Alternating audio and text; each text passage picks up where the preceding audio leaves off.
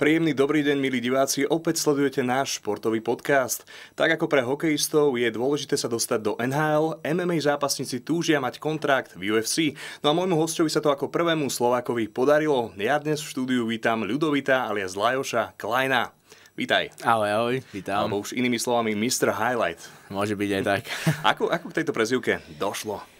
Došlo k nej úplne jednoducho v podstate. Keď ja som išiel do UFC, tak uh, chcel som tam mať nejaký nickname, ktorý, ktorý ma budú vlastne vyhlasovať a v podstate keď som bol ešte pôsobil som v Octagone alebo tuto na domácej scéne, tak moja prezývka bola Lajoš alebo takto a to sa mi až tak nepačilo, aby mi to vyhlasovali v UFC, tak som si dal, že Mr. Highlight a toho sa aj držím, pretože ja sa snažím robiť tie zápasy, v každom zápase nejaký highlight, aby bol proste niečo, čo bude také pamätné a toho sa aj držím a snažím sa v každom zápase niečo také spraviť, aby tá prezývka Mr. Highlight mala vlastne význam.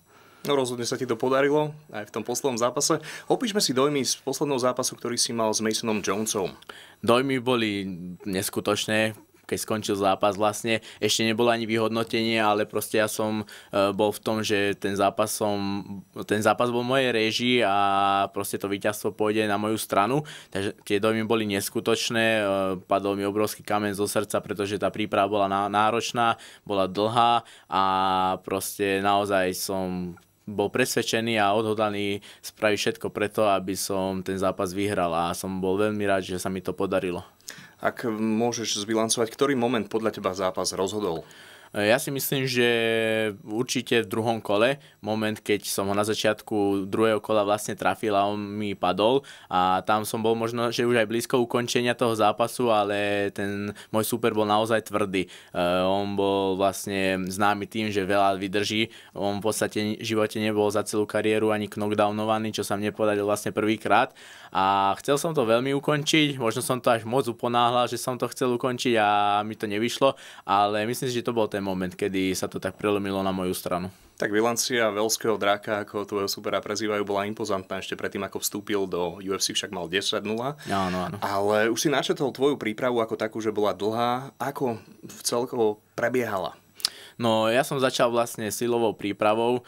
Uh, hlavne sme si na začiatku celej prípravy sadli celý tým, povedali sme si, čo ja chceme robiť, pretože pôvodne vlastne ja som mal zápasy s iným súperom, štilisticky, takže vlastne k tomu sme prispôsobili celú prípravu a moja príprava začala nejak v apríli, kde som začal silovú prípravu a v podstate postupne sme to uh, gradovali, tú prípravu, čím sa blíži viacej fight, uh, takže sme tam potom boli aj na, na tréning tréningovom sústredení v Tatrách, eh, čo si veľmi chválim, to bolo fakt kvalitné sústredenie, to bolo také vyvrcholenie mojej prípravy a potom sme sa už len dodaďovali tesne pred zápasom, už sme si dávali pozor na to, aby som sa hlavne už nezranil, aby som bol hladný do toho zápasu, aby som sa na ten zápas tešil, aby som nebol pretrénovaný a myslím si, že toto všetko vyšlo na 100%.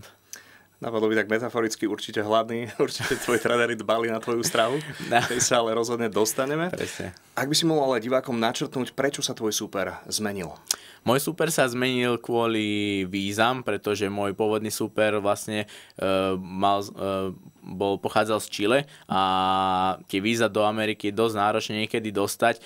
Proste treba si to stále obnovovať, chodiť na tie ambasády a, a tak ďalej a vlastne mu sa to nepodarilo, nepredlžili mu víza, čiže tým pádom nemohol sa dostať do Ameriky a nemohol vlastne nastúpiť do zápasu čiže hneď vlastne UFC mi hľadalo nejakú alternatívu, nejakú náhradu, eh, kde by som mohol čím skôr zápasiť, pretože ja som určite zápas chcel, pretože som mal fakt tú náročnú prípravu, všetko som dal do toho, čiže som bol pripravený zápasiť s kýmkoľvek a vlastne prišla ponuka na Masona Jonesa v, o týždeň skorej v Londýne, či to berieme, samozrejme hneď sme to brali a mm, proste išli sme do toho. Nemáš problémy s adaptáciou, ak sa takto narýchlo zmenia podmienky?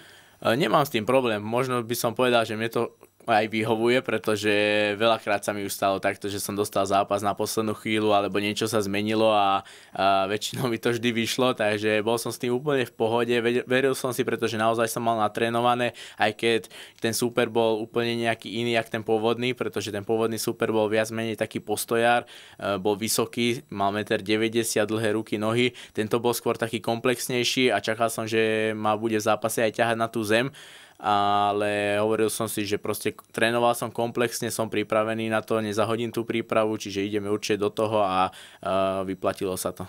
Na Margo zmien, uh, ty si zmenil aj kategóriu. Prečo? No, no bolo to z dôvodu úplne jednoduchého, pretože som strašne veľa chudol ja do tej váhy, e, ktorú som chodil 66 kg, bola to pérová váha. A ja mimo zápasov zvyknem mávať aj 84 kg, čiže to je strašné množstvo váhy na zhodenie. A aj keď som tú váhu vedel spraviť, tak proste v tom zápase som sa necítil dobre. Fyzicky som tam odchádzal, aj keď som bol fyzicky natrénovaný najlepšie, tak po prvom kole som cítil, že proste mi tá sila odchádza. A jediné, čomu som to pripisoval, bola tá váha a už veľa proste, aj keď som chodil na rôzne zahraničné kempy, do Ameriky a takto, tak keď sa ma pýtali, že aká som váha povedal som, že chodím 66 kg, tak krúti hlavu, že aké je to možné, že to neexistuje, že ty chodíš 66 kg, že proste na to, že e, ja mám takú svalnatú postavu, tak proste naozaj som musel chudnúť do tej váhy strašne veľa a bralo mi to zbytočne veľa síly v zápase, tak som si povedal, že radšej budem chudnúť menej. Budem síce možno v tej váhe medzi, patrí medzi najnižších, pretože naozaj sú tam dosť vysokí tí súperi, ale som si povedal, že nevadí, že ideme do toho, že radšej sa budem cítiť v tom zápase dobre, komfortne, plný sily, ako keby proste mám po prvom kole odísť fyzicky kvôli tej váhe. Čo sa týka výškovej prevahy, ty osobne uprednostňuješ súperov podobnej výšky alebo práve tých vyšších súperov? Um, nejak to neriešim, že čo presne uprednostňujem. Na každého supera sa dá nejak špecificky pripraviť, pretože hovorím, môj pôvodný super mal mať vyše 1,90 m, fakt to bol jeden z najvyšších superov, jed, najvyšších zápasníkov v mojej váhe ale myslím si, že som sa na neho dokázal pripraviť veľmi dobre. Mal som sparring partnerov takých vysokých, myslím si, že mi to vychádzalo na tréningoch s nimi pracovať. Čiže mm, myslím si, že dá sa pripraviť na každého supera. Hmm. Z, ak si môžeme zbilancovať zatiaľ tvojich 5 zápasov, ktorý zo superov bol pre teba taký najťažší a ak si môžeme kročík po kročiku tak stručne opísať každého zo superov. No najťažšieho by som považoval mm, buď tohto Masona Jonesa, čo bol môj posledný súper, alebo Nate Landvera, pretože títo dvaja uh, fightery vlastne mali aj dosť veľké úspechy, čo sa týka nejakých titulov a takto.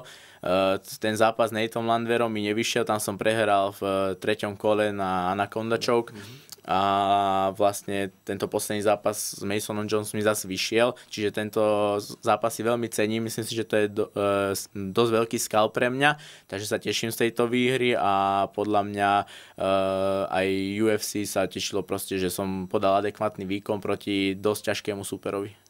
Keď sa práve Nate dovolím si povedať, že uškrtil, tak uh, vyzeral si trochu dezorientovane. Ako sa ty uh, dávaš dokopy No, bolo to nepríjemné, ale proste to bol presne ten zápas, ktorom som cítil, že už fakt po prvom kole som fyzicky odišiel. A to som mal fakt dvojmesačnú prípravu aj v Amerike, náročnú, trénoval som tam fakt s top úrovňou, svetová špička a naozaj som tam na tých tréningoch e, predvádzal adekvátne výkony proti ním, čiže naozaj som sa cítil veľmi dobre a išiel som do toho zápasu, spravil som váhu a po prvom kole som fyzicky odišiel v tom zápase, čiže mm, trošku mi tam potom už aj tá psychika tým pádom odchádzala a a proste hovorím, ten, ten večer bol ten super lepší, ale mm, myslím si, že veľa tomu dopomohlo to, že som proste naozaj veľa chudol a proste to telo sa mi nestihlo zregenerovať do zápasu.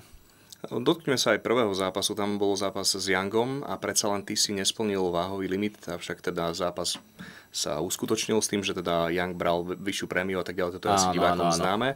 Ale objavili sa aj potom tie kritické hlasy niektorých tých celebritiek, nazvem to tak, z UFC. Ako, ako si vnímal ty túto kritiku od No, vnímal som to tak, že mali právo vlastne ma kritizovať, pretože ja som fakt tú váhu nespravil, ale môžem povedať, že naozaj som spravil maximum preto, aby som tú váhu spravil čo najlepšie, pretože mne tá ponuka prišla 10 dní pred zápasom a obvykle keď e, robím váhu na zápas, tak mi to niekedy trvá proste, že mám mesiac dietu pred zápasom, tvrdú, striktnú, ktorú musím dodržiavať, aby mi to všetko vyšlo. No teraz som to musel stihnúť za 10 dní, čiže ja som tam musel chudnúť nejakých 13-14 kg za 10 dní, čo je obrovské množstvo a naozaj my sme dali do toho maximum, ja som dal do toho maximum a už keď to hraničilo s nejakým, e, nejakým zdravím, tak moji tréneri to stopli, že proste nepôjdeme cestu ďalej, pretože aj keby som možno tú váhu spravil, tak už do toho zápasu by som nenastúpil, pretože by som bol fakt fyzicky úplne zle na tom pretože už te, v tej dobe, keď som mal tú váhu, čo som prevážil nejaké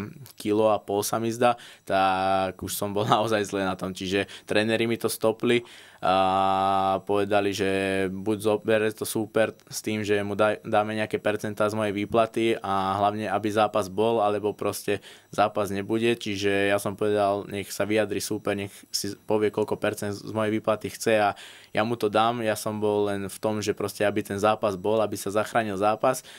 Uh, on pristúpil na nejakú dohodu, tak som sa tomu veľmi tešil, že zápas sa nemusel zrušiť a proste vyšlo mi to, no rozprávajúc o tvojej váhe, nedá mi to, porovnajme si, alebo poďme do hlbín Lajošovej duše.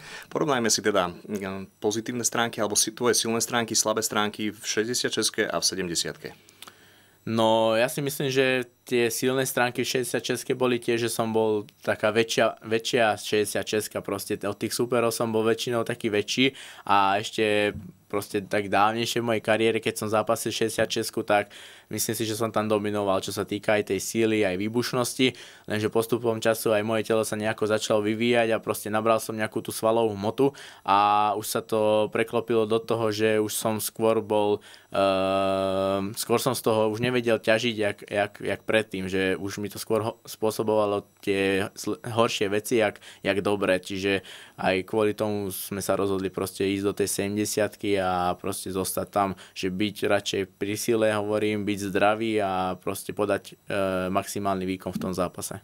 Takže v 70 ťažíš vlastne z tej síly, ktorú si nadobudol. Myslím si, že áno, myslím si, že áno. Teraz aj hlavne tento zápas, e, naozaj som si dal záležať na tej silovej príprave s mojim trénerom a myslím, že sa to aj vyplatilo, pretože som sa tam silovo cítil veľmi dobre a dokonca aj môj súper, čo vynikal tým, že proste je silný, pretože predtým zápasil o najvyššiu váhu ešte, mal dva tituly v tom Cage Warriorse a, a vynikal tým, že je vlastne sil, silný, tak po zápase tvrdil, že som bol naozaj ja veľmi silný jeho súper. Mm, máš pestrú paletu, čo som si všimol ukončením, máš tam armbar, máš tam rear naked choke a, a tak ďalej, tak triangle.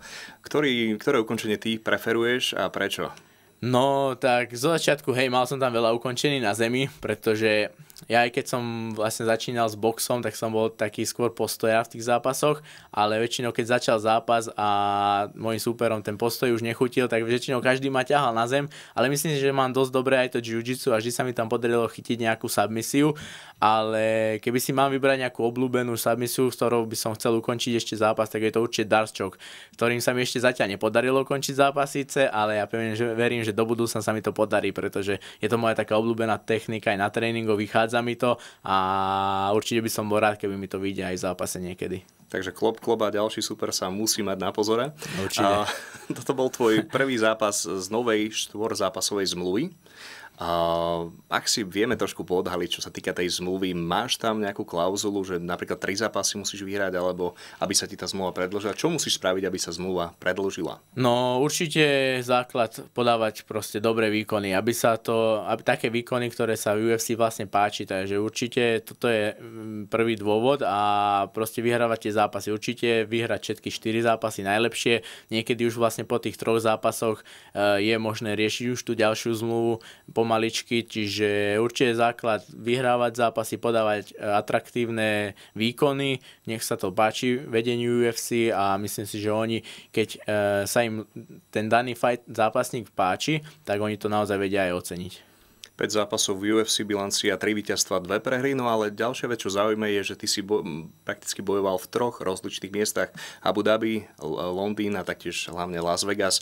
Ak si vieš porovnať tieto miesta, kde sa ti najlepšie napríklad pripravovalo, ktorý napríklad catering alebo všetko to okolo bolo najvyhovujúce, mm, najvyhovujúcejšie pre teba? Na každú túto destináciu mám zvlášť, nejaký, proste, zvlášť nejakú dobrú spomienku, pretože keď som mal prvý zápas v Abu Dhabi, tak som tam išiel s tým, že proste sa mi splnil sen, že išiel som do toho UFC Takže naozaj, keď som tam prišiel, tak to som tam chodil s, otvorenou, s otvorenými ústami všade, kde sa dalo, že proste som bol nemom úžase, že fakt som tu, že som v tom UFC, že všetko sa to deje, že to je realita. Čiže na to Abu Dhabi mám fakt dobré spomienky, neskutočné, hlavne ten zápas, keď mi vyšiel. Potom vlastne následne som mal zápas, e, tri zápasy som mal v Las Vegas, Dva som mal ešte vlastne počas tej covidovej, eh, covidového obdobia, tak to bolo v tom UFC Apex, kde vlastne neboli fanúšikovia. Oni tam majú vybudovanú svoju takú základňu, kde majú vlastne aj klietku, eh, kde vie byť štáb, vedia to natáčať, vedia tam robiť zápasy. Čiže tam som mal dva zápasy, ktoré mi nevyšli, tam som dvakrát prehral a z toho v podstate nemám až také dobré spomienky, ale aj tak som si to tam užíval, že som vo Vegas vlastne prvýkrát a tretí zápas vo Vegas bol už v eh, T-Mobile aréne vypredanej, takže to už bol veľký zážitok, keďže tam boli konečne fanúšikovia, takže z fanúšikov som si užil vlastne až na, štvrt, na štvrtý zápas UFC, čomu som sa naozaj tešil, motivovalo ma to sa neskutočne, že konečne sú tam ľudia, pretože som bol ja na divákov veľmi zvyknutý aj čo sa týka ešte oktagonu, keď som zápasil a mňa to vždy hnalo vpred, Takže som sa tešil, že sú tam tí ľudia a z toho mám tiež naozaj neskutočný zážitok a z tohto posledného turnaja takisto, pretože to bolo v Outuárene v Londýne, e, dokonca som tam počul aj Slováko, že tam bolo, kričali tam moje meno, takže naozaj som sa z toho veľmi tešil.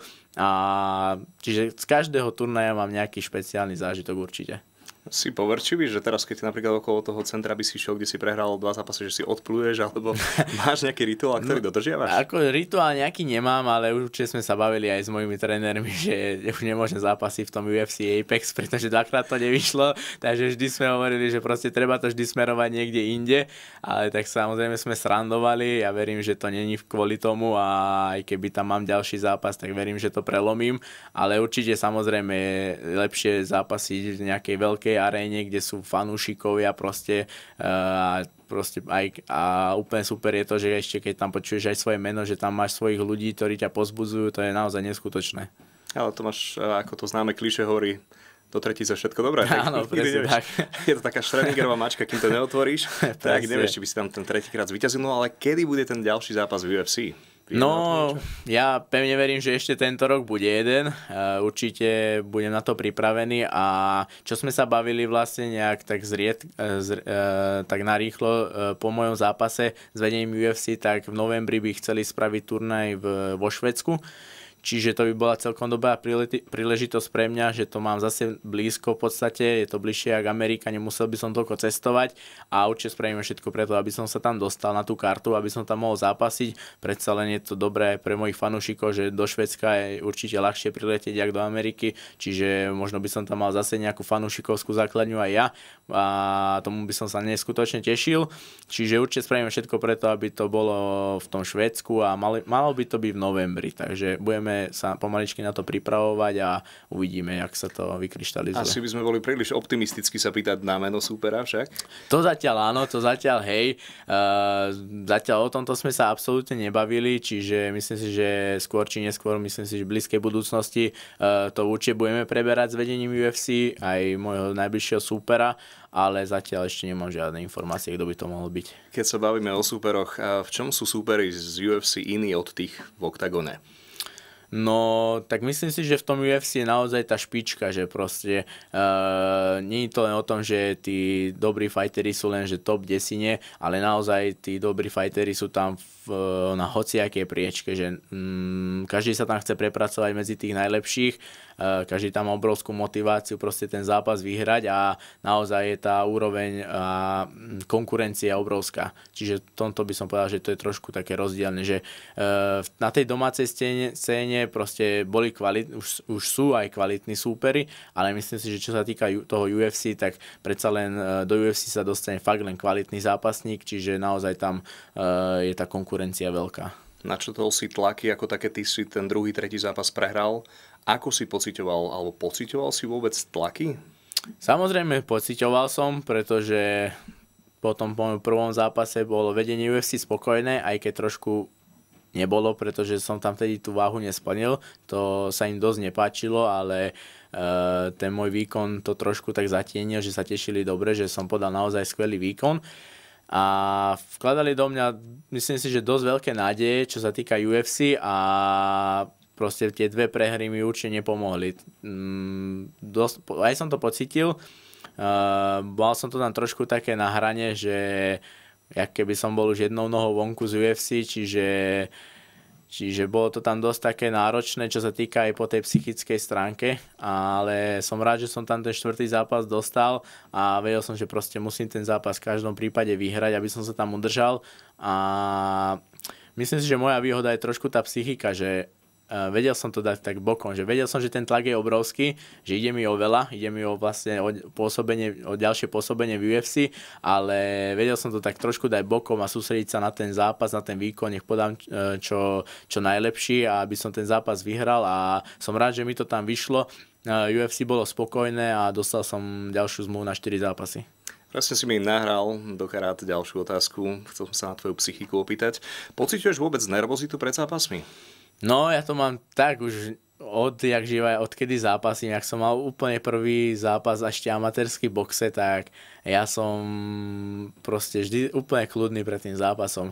Neviem to pochopiť ani ja sám, aj keď to rozprávam svojim trénerom alebo ľudí, kto sa ma to pýta, že či som nervózny, tak keď poviem, že nie, tak mi nikto neverí, že proste musíš byť aspoň trošku nervózny, ale naozaj ja som pred tým zápasom totálne kľudný, práve že moji tréneri, keď sa na nich pozriem, tak sú totálne vystresovaní, že proste ideme do zápasu, ale naozaj ja som kľudný a neviem prečo to tak mám, ale mám to tak proste a myslím si, že to je veľká výhoda, čo sa týka toho, lebo niekedy v tom zápase nemusíš byť fyzicky až tak pripravený, jak po tej psychickej stránke a ja si myslím, že tú psychiku mám fakt dobrú a viem z toho ťažiť aj do budúcna podľa mňa. No čo ty a kamery? Nepociťuješ stres napríklad takto, keď si v štúdiu? Uh, už dneska nie, dneska nie, ale keby som tu možno pred troma, štyrimi rokmi ešte, keď to celé tak začalo, že to malo taký veľký boom ošial, že uh, to MMA zrástlo proste, išlo to do povedomia ľudí a začínal som byť aj ja trošku viacej už na tých kamerách, takže som mal dosť veľké problémy predtým. Za veľakrát som stalo, že som koktal pred tou kamerou a bol som proste taký nesvoj, ale je to sila zvyku si myslím a ja som si už na to zvykol, pretože už tých rozhovorov som spravil niekoľko a už sa tu cítim úplne uvoľnený, takže komfortne. Aj si nejaké extra triky používal, že si si dal pred seba zrkadlo, alebo to naozaj prišlo iba ako taký Prišlo to tak prirodzene, no. Prišlo to tak prirodzene, že čím viac rozhovorov som robil, tak tým som sa cítil lepšie a lepšie, čiže no tak prirodzene to došlo.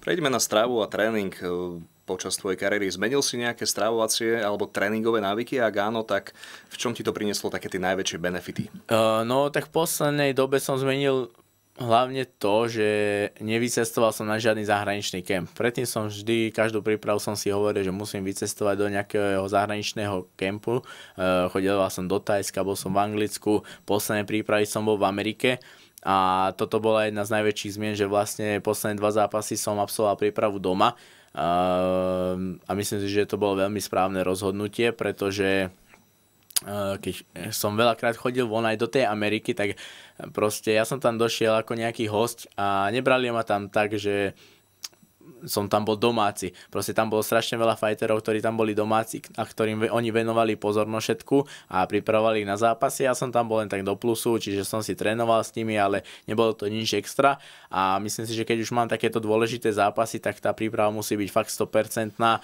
moji tréneri musia stať nado mnou každý deň, proste musíme to, tú celú prípravu rozobrať dopodrobná, všetko nastaviť tak, jak má, e, jak keby na mieru, na mňa a hlavne preto som sa rozhodol, že budem zostávať doma. Vlastne mám tu vytvorené fakt skvelé podmienky na to, aby som sa dokázal pripraviť už na tie zápasy a myslím si, že to utvrdilo aj tento zápas, že nikde som nebol, naozaj som trénoval doma, mal som kvalitných sparring partnerov, všetko sa kvázi točilo okolo mňa tá príprava a spravili sme maximum preto, aby to bolo čo najlepšie a podľa mňa sa to vyplatilo. Pozorne som ťa počúval, e, zatiaľ čo si rozprával, dúfam, že aj naši diváci. A už si spomenul, že čo sa týka diety a stravovania, ty e, ten mesiac e, máš takúto prísnejšiu dietu. Máš ale nejakú maškrtu, nejakú šmakocinku, ktorú si nevieš odrieknúť, lebo keď tu bol u nás Buddy, tak ten hovoril teda, že on na stravovacie návyky, že tam s tým bojuje. tak áno, Badinko je ťažká váha, čiže tam tam určite mu viacej chutná. A samozrejme chutná aj mne, ale proste keď viem, že ten mesiac do zápasu musím spraviť tú váhu, tak viem si to od, odrieknúť. Čiže viem to tak dať bokom, samozrejme myslím na také veci, že dal by som si samozrejme aj pizzu, alebo strašne mám rád sladké a dal by som si to, ale viem si to proste odrieknúť, vydržať ten mesiac a viem, že potom po tom mesiaci, keď absolvujem ten zápas, hlavne aby ten zápas vyšiel, tak si to potom môžem užiť a po zápase si si dopriať všetko, na čo som mal chuť vlastne počas tej prípravy. Čiže teraz som vlastne po tom zápase a mal som taký týždeň, že naozaj som si doprial aj pizzu, aj niečo sladké, takže teraz si to tak užívam. Vysvetli nám prosím ťa, ja to teraz odľahčím, vysvetli nám prosím ťa, ako vznikol ten nápad, že Attila ti bude robiť tlmočníka No, Počas tvojej prvej cesty do UFC. Toto bola možno taká trošku taká funny storka, že my sme došli do toho Abu Dhabi, ja som tam mal rôzne také mediálne povinnosti samozrejme, lenže moja angličtina nebola No ja som si myslel, že nebola až tak dobrá, že môžem tam rozprávať na kameru, do mikrofónu, pretože som si v tom až tak neveril. A keď som vyplňal taký papier, tak sa ma tam pýtali, že vlastne či budem rozprávať ja teda po anglicky, keď sa budú niečo pýtať, alebo tam budem mať nejakého tlmočníka. Tak ja som jasne, že budem mať tlmočníka, však Attila trénoval dlhé roky v Amerike, on vie brutálne po anglicky, tak hneď som tam napísal Attilu Vek, ale on o tom nevedel. Potom ja som došiel vlastne na izbu na hotelovú a hovorím Atilovi, že Pýtala, pýtali sa ma, že e, či mi bude niekto tlmočiť, alebo či budem rozprávať ja. A hovorím Matila, že ty vieš brutálne anglicky, že tak som ťa napísal teba. A on sa už chytal za hlavu, že to nemyslíš vážne, že ja neviem, že až tak dobre anglicky, že jak, že nevieš, ak si žil v Amerike, trénoval si tam, mal si tam zápasy, že musíš vedieť. Tak potom sme išli na tie prvé rozhovory, no a dopadlo tak, jak dopadlo. Celá miestnosť sa tam smiala na nás, bola toho obrovská šovka, proste ale bola to, v podstate to bola taká hamba, ale v tom dobrom slova zmysle, pretože to malo dobré ohlasy, veľa ľudí sa na tom pobavilo, naozaj tie videá, ktoré rozhovory, čo sme robili, tak mali obrovské zhliadnutia, čo nemali tam ani tie hlavné hviezdy, čo tam zapasili, vtedy tam bol hlavný zápas, Adesania a Paul Košta a oni nemali také zhľadnutia tých videí, jak ja, čiže aj zlá reklama je dobrá reklama, ale do budúcna už som sa poučil, že Atilu ako tlmočníka nebudem dávať. Máme asi všetkým jasné. Kto toto video ešte nevidel, ja vám ho vrelo odporúčam. Chcel som ho použiť aj ja, ale pre množstvo vulgarizmu, ktoré tam Atila pomedzi to dával, no, som presne. sa neodvážil. A keď už spomíname Atilu, nechýbal ti v tom Londýne, keďže paralelne s tým, s touto udalosťou UFC bol a boli aj zápasy Octagonu a on teda mal ešte iného zverenca tam? Uh, no, my sme boli už tak dávnejšie dohodnutí vlastne, že on na ten zápas so mnou nevycestuje. Uh, nebol so mnou v zápase už ani proti Devontemu Smithovi, tam som bol tiež s iným tímom a pretože on mal fakt tedy, v tej dobe nejaké povinnosti, čo musel spraviť a túto prípravu, čo som absolvoval teraz naposledy, tak tiež tam mal vlastne, bol v Let's Dance, potom mal svoj boxerský zápas, čiže naozaj mal toho veľa, narodilo sa mu do toho ešte aj e, cerka, čiže venoval sa aj rodine, ale ja som to úplne pochopil, pretože mm, to je normálna vec a ja som mal okolo seba dobrý tým, mal som skvelých trénerov, trénerov, čiže ktorí stali tú prí, celú prípravu e, nado mnou a oni tým pádom išli so mnou aj do toho zápasu. Ty si relatívne ešte mladý, ale uvidíme niekedy Lajoša Kleina v tanečných topánkach? tak e, brániť sa tomu nebudem asi, uvidíme, čo priniesie budúcnosť. E, samozrejme, sústredím sa teraz na tú svoju fighterskú kariéru, zápasnickú, v tom chcem dosiahnuť teraz, čo, čo, čo najviac to pôjde a a uvidíme, čo prísne v budúcnosti. Možno niekedy ma uvidíte aj na parkete tancovať. Mne sa páči ten bizar, lebo ty máš taký ten, veď pochádzaš z Nových zámkov, máš ten taký maďarský prízvuk, ale v skutočnosti maďarčinu neovládaš. Však? Neovládam maďarčinu, no a to mi hovorí veľa ľudí, keď začnem rozprávať na nich, že veľa ľudí na mňa tým, že sa nepoznáme, tak začnú na mňa automaticky maďarsky rozprávať tým, že som aj Lajoš a potom ja na nich pozerám, hovorím, že ale ja neviem po maďarsky a potom sa čudujú, že jak, že nevieš po maďarsky, však máš ešte aj maďarský prízvuk, si z nových zámkov, že musíš vedieť po maďarsky, hovorím, že no, že neviem. Aj keď vlastne z otcovej strany, tak všetci vedia maďar, maďarsky, z maminej strany to sú všetko Slováci, ale proste ma nenaučili uh, tú maďarčinu, nenalepilo sa to nejak na mňa, ale asi ten prízvuk možno aj mám reálne, pretože fakt som z Nových zámkov a tam tá maďarčina ide, čiže niekto hovorí, že naozaj, že mám ten maďarský prízvuk. Súcitím s tebou, lebo keď sme sa tak, na, keď sme sa tak rozprávali spolu, tak na odľahčenie poviem príbeh, ja som tiež nať, nagi. A už sa mi viackrát stalo, keď som prišiel do jednej nemocnice nemenovanej, tak jedna sestrička za mnou prišla, vždy zahlasila, tu z Maďarov besilný. ja že nem, nem tu dom.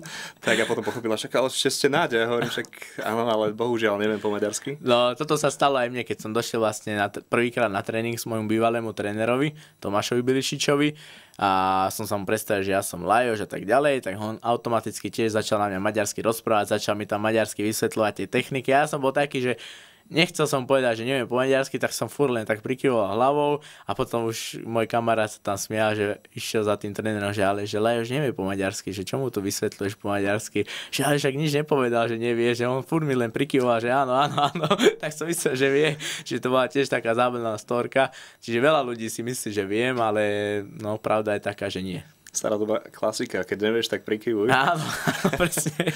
Ale premostíme do budúcnosti. Čo bude podľa teba vrcholom tvojej kariéry, alebo aký je tvoj maximálny cieľ, ten najvyšší cieľ?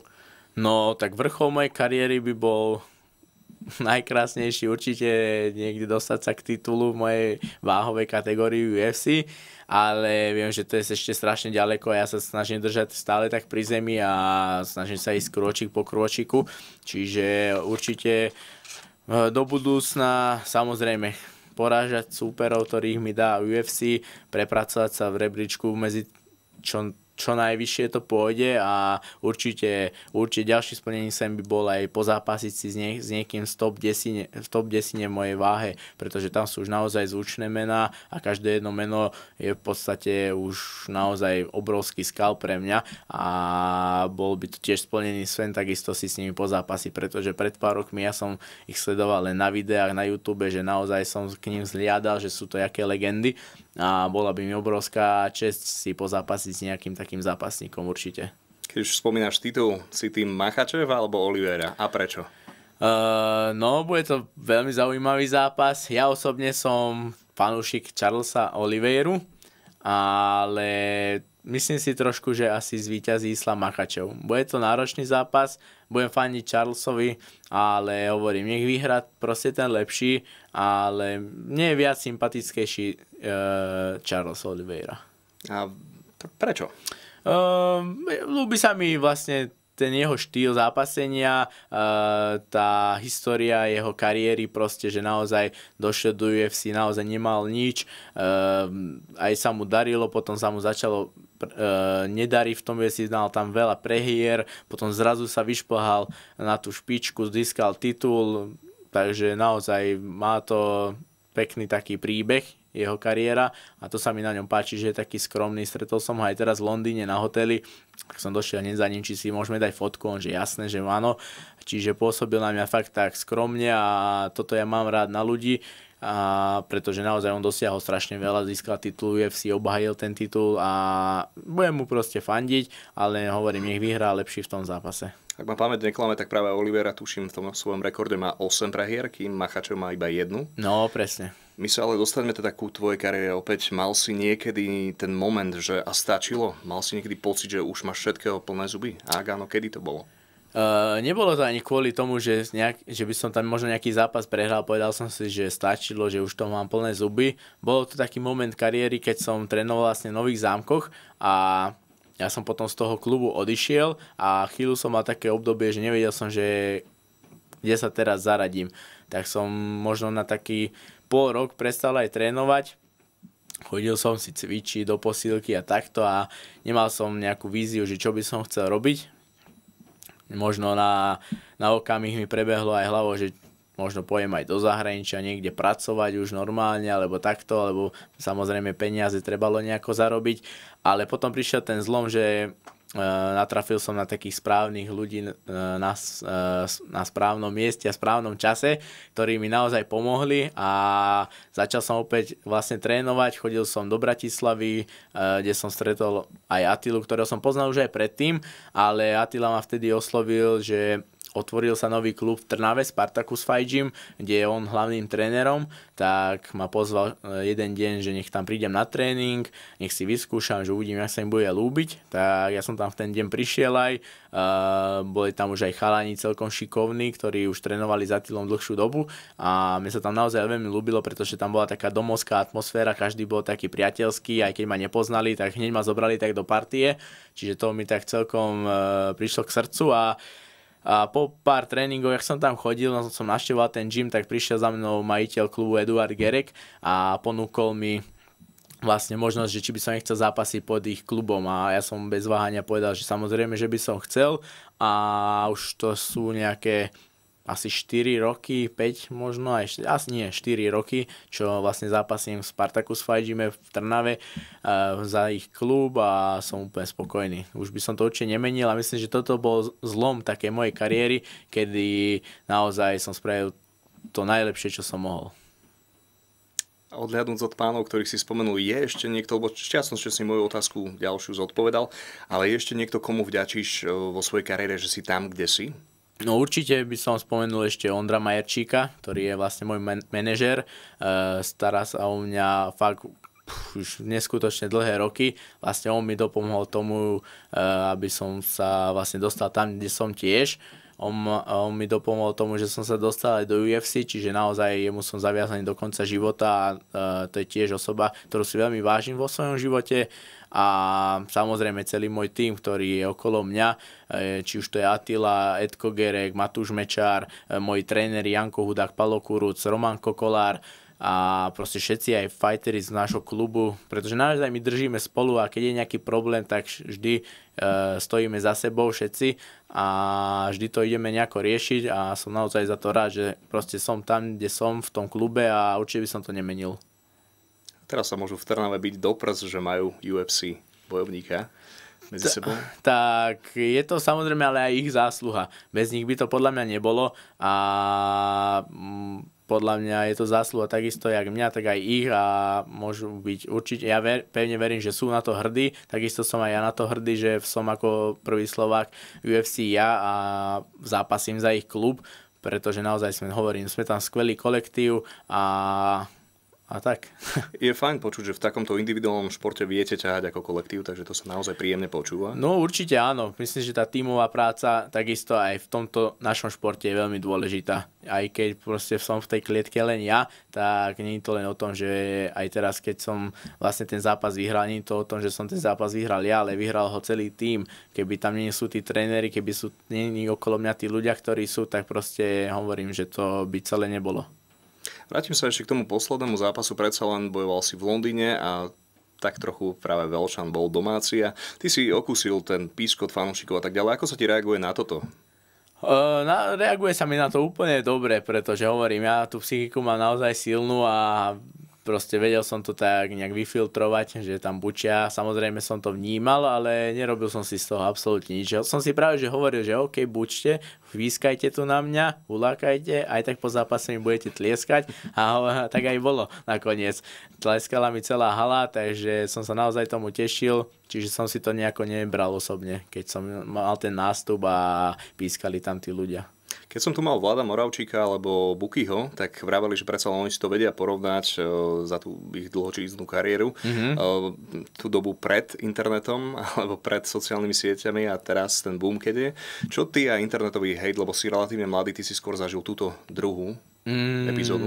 No jasné, ale hovorím, takisto som s tým úplne v pohode. Ja takéto veci absolútne neriešim, nejaké hejty na internete. Samozrejme, že sú aj na mňa.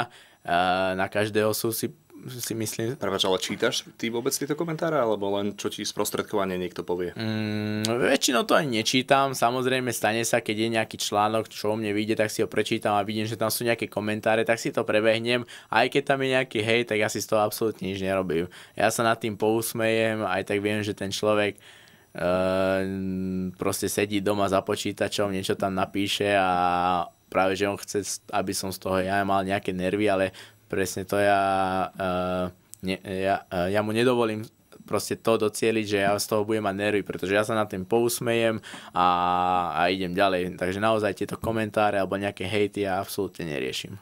Najbizarnejšia otázka, ktorú si dostal, alebo prípade potom ešte nejaký najstrandovnejší moment, aký si zažil počas svojej kariéry? Mm, najbizarnejšia otázka. Tak os, ne, ja nemám rád takéto otázky, napríklad aj keď robím naposledy, keď som robil uh, živé vysielanie na Instagrame, tak stále sa tam pýtajú ľudia, že, že koľko si zarobil za zápas a tak ďalej.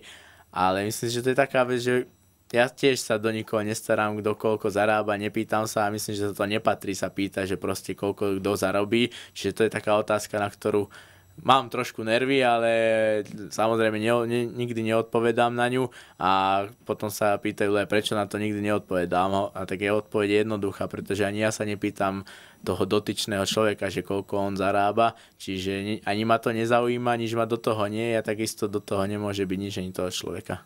No a ten najstrandovnejší moment, ktorý si zažil? Najstrandovnejší moment, ja neviem, akože tie moment, tých momentov určite bolo veľa. A aj s Atilom hovorím, aj tá, to, to, ten zápas prvý v Abu Dhabi, proste to, tá tlačovka, tlačovka čo, čo, čo mi tam prekladal, to bolo taký moment, že, na ktorý keď si spomeniem, tak vždy sa pousmejem. To mám asi naozaj jasné. A moja posledná otázka z tej palety mojich otázok, lebo mám pre teba pripravené ešte od našich kolegov zo Športu SK dve otázky, ale posledná otázka, pretože sa voláme v pozadí úspechu. Čo sa mm-hmm. skrýva v pozadí toho tvojho úspechu? No, ja si myslím, že pozadí môjho úspechu sa skrýva disciplína a proste tá vytrvalosť ísť si za tým cieľom, pretože toto keby nemám, tak nie som tam, kde som. A myslím si, že tá disciplína už hoci akom športe alebo už myslím si, že hoci čom, či už človek podniká alebo niečo, tak tá disciplína tam musí byť, to je to najdôležitejšie. A ja si myslím, že tú disciplínu mám, pretože naozaj tým tréningom a aj proste všetkému pristupujem zodpovedne a snažím sa vždy spraviť maximum preto, aby som proste v, tom, v ten deň zápasu, keď nastupujem do toho zápasu, som si mohol povedať, že proste dobre Lajoš, nič si nepodcenil, spravil si maximum v tej príprave, nemáš sa čoho báť, ideš tam do tej klietky, takisto jak tam ideš ty, tam ide aj on, aj on má dve ruky, dve nohy, čiže není o čom. A vtedy si tak poviem, že naozaj som kľudný a aj to ma tak utvrdzuje, že proste tú psychiku mám dobrú a hlavne kvôli tomu mám dobrú, pretože naozaj vždy fakt do tej prípravy dám maximum. Nič nepodcením a hovorím, vtedy môže byť človek kľudný. Ako som už načrtol, teda aj naši kolegovia z portálu Športeska si pripravili na teba dve otázky. Tá prvá by bola, že si načrtol, že v, na konci toho štvor zápasového kontraktu by si chcel atakovať top 15 vo svojej váhovej kategórii. Mm-hmm. Ako ťa k tomu pri, priviedol alebo priblížilo to víťazstvo? Teraz posledné na uh, Osobne ešte neviem, jak ma to moc priblížilo k tomu, pretože som si ešte nepozeral, či aktualizovali už ten rebríček alebo nie, čiže som to ešte neodsledoval, ale ja pevne verím, že ma to priblížilo určite, pretože naozaj uh, bol to cenný skalp. Pre mňa, naozaj zvučné meno, bol to dvojnásobný šampión Cage Warriors, ja som bol vlastne v tom zápase outsider, on bol obrovský favorit a predviedol som myslím si, že veľmi dobrý výkon eh, a ničomu som ho nejak extra nepustil, nejak ma extra neohrozil v tom zápase, takže ja si myslím, že ma to posunulo a teším sa na ďalšiu výzvu a hovorím, spravím všetko preto, aby som takisto ten zápas ďalší zase vyhral a aby ma to zase mohlo posunúť e, vlastne bližšie k tomu ďalšiemu snu, dostať sa čo najvyššie. A tá druhá otázka teda je, že sa špekuluje o návrate UFC aj do Prahy. Mm-hmm. Či vieš niečo viac o tomto a prípadne aké by to pre teba bolo byť takmer pred domácim publikom?